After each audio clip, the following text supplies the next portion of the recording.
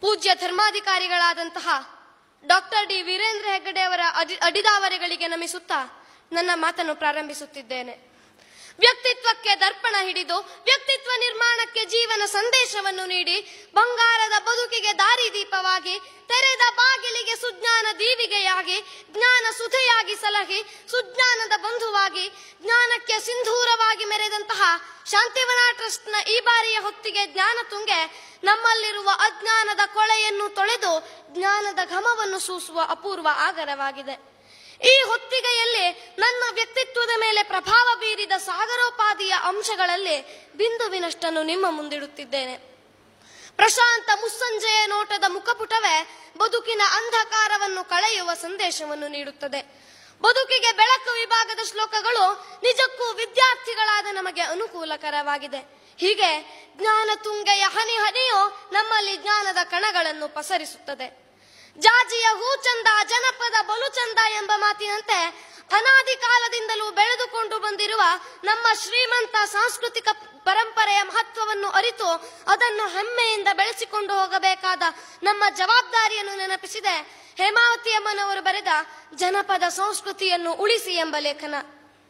ಕೃಷಿತೋ ನಾಸ್ತಿ ದುರ್ಭಿಕ್ಷ ಎಂಬಂತೆ ಕೃಷಿಯು ಒಂದು ತಪಸ್ಸಿನಂತೆ ಕೃಷಿಯಲ್ಲಿರುವ ಖುಷಿಯನ್ನು ಮರೆತು ಕೇವಲ ನಗರದ ವ್ಯಾಮೋಹಕ್ಕೊಳಗಾಗಿ ತಮ್ಮ ಸುಂದರ ಬದುಕನ್ನು ಹಾಳು ಮಾಡಿಕೊಳ್ಳುತ್ತಿರುವ ಇಂದಿನ ಯುವ ಜನಾಂಗದ ಕಣ್ಣು ತೆರೆಸುವಂತಿದೆ ಗಣಂಗೂರು ನಂಜೇಗೌಡ ಅವರು ಬರೆದ ನೇಗಿಲು ಹಿಡಿದ ಟೆಕ್ಕಿ ಎಂಬ ಲೇಖನ.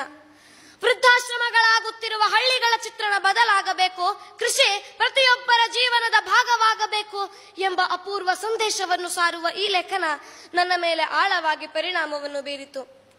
ಹೋರಾಡು ಬೀರ್ವನ್ನ ಮೊಬ್ಬಂಟಿಯಾದೊಡಂ ಧೀರ ಪಥವನ್ನೇ ಬೆದಕು ಸಕಲ ಸಮಯದೊಳ್. ದೂರದಲ್ಲಿ ಗೊಣಗುತ್ತ ಬಾಳುವ ಬಾಳಿಗೇನು ಬೆಲೆ? ಹೋರಿ ಸತ್ವವ ಮೆರೆಸು ಮಂಕುತಿಮ್ಮ. ನಮ್ಮ ಭವಿಷ್ಯ ನಮ್ಮ ಕೈಯಲ್ಲಿದೆ. ನಮ್ಮ ಭವಿಷ್ಯವನ್ನು ರೂಪಿಸಿಕೊಂಡು ಹೋಗಬೇಕಾದ ಹೊಣೆಗಾರಿಕೆಯನ್ನು ಹೊತ್ತ ನಾವು ಜೀವನದಲ್ಲಿ ಯಾವುದೇ ಅಡೆತಡೆಗಳಿಗೂ ಜಗ್ಗದೆ ಮುಂದೆ ಸಾಗುತ್ತಿರಬೇಕು. ನಮ್ಮ ದಾರಿಗೆ ನಾವೇ ದೀಪವಾಗಬೇಕು ಎಂಬ ಸಂದೇಶವನ್ನು ಸಾರುತ್ತದೆ ಭಾಸ್ಕರ ಹೆಗಡೆ ಅವರು ಬರೆದ ನಮ್ಮ ಏಳಿಗೆಗೆ ನಾವೇ ಶಿಲ್ಪಿಗಳು ಎಂಬ ಬಿಡಿಭಾಗ. ಪರೋಪಕಾರಾಯ ಫಲಂತಿ ವೃಕ್ಷ ಪರೋಪಕಾರಾಯ ವಹಂತಿ ನದ್ಯಾಹ, ಪರೋಪಕಾರಾಯ ಧ್ರುವಂತಿ ಗಾವಹ, ಪರೋಪಕಾರಾರ್ಥಂ ಇದಂ ಶರೀರಂ. ಪರರಿಗೆ ಉಪಕಾರ ಮಾಡುವುದೆಂದರೆ ಅದೊಂದು ಪುಣ್ಯದಂತೆ.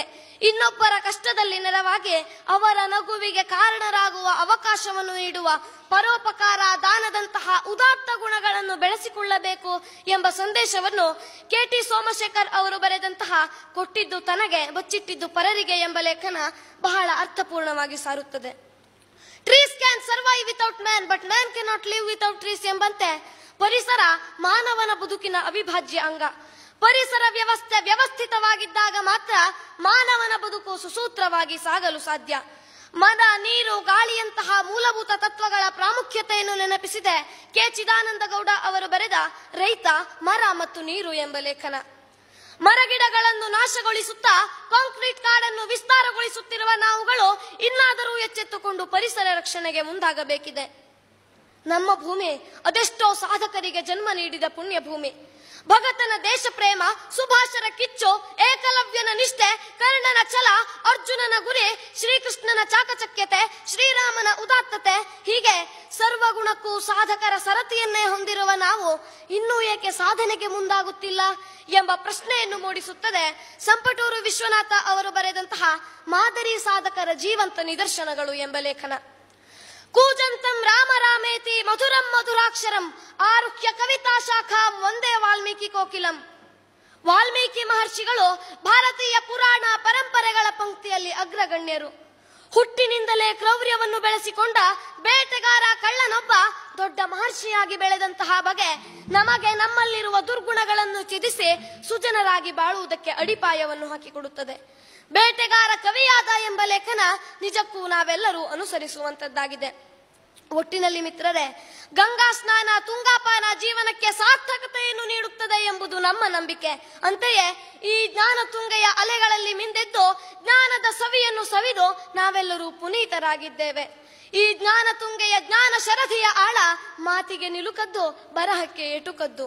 ವ್ಯಕ್ತಿತ್ವ ರೂಪಿಣಿಯಾಗಿ, ಜ್ಞಾನ ಮಂದಾರವಾಗಿ, ವ್ಯಕ್ತಿತ್ವ ದರ್ಶಿನಿಯಾಗಿ ಈ ಜ್ಞಾನ ತುಂಗೆ ನಮ್ಮನ್ನು ಆವರಿಸಿದ್ದಾಳೆ. ಈ ದಿಶೆಯಲ್ಲಿ ಮಿತ್ರರೇ, ನನ್ನ ವ್ಯಕ್ತಿತ್ವ ನಿರ್ಮಾಣಕ್ಕೆ ಹೊಂಬೆಳಗು ಬೀರಿದಂತಹ ಜ್ಞಾನ ತುಂಗೆಯ ಹನಿ ಹನಿಗೂ ಧನ್ಯವಾದಗಳನ್ನು ಅರ್ಪಿಸುತ್ತಾ, ಶ್ರೀದೇವ ಮಂಜುನಾಥನ ಸನ್ನಿಧಿಗೆ ಶಿರಬಾಗಿ ಮತ್ತೊಮ್ಮೆ ನಮಿಸುತ್ತಾ, ನನ್ನ ಮಾತುಗಳಿಗೆ ಪೂರ್ಣ ವಿರಾಮ, ವಿಚಾರಗಳಿಗಲ್ಲ. ಧನ್ಯವಾದಗಳು.